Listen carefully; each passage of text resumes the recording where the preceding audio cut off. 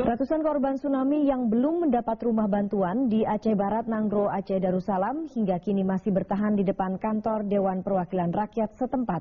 Mereka mendirikan tenda seadanya di trotoar jalan setelah dipaksa keluar dari gedung DPRD oleh petugas.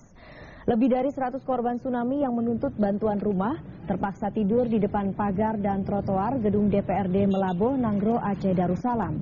Mereka terpaksa mendirikan tenda darurat di atas trotoar karena diusir oleh aparat keamanan dari halaman gedung DPRD. Petugas keamanan mengusir para pengunjuk rasa karena tidak mengantongi izin untuk melakukan aksinya dari Polres setempat. Salah seorang korban tsunami, Mary, mengaku meski terpaksa tidur di atas trotoar, ia tetap akan terus berjuang bersama warga lain yang belum mendapat rumah bantuan hingga tuntutan mereka dipenuhi. Mereka menuntut Gubernur Aceh Irwandi Yunus, maksud kami Irwandi Yusuf dan Presiden Susilo Bambang Yudhoyono serius menuntaskan masalah ini.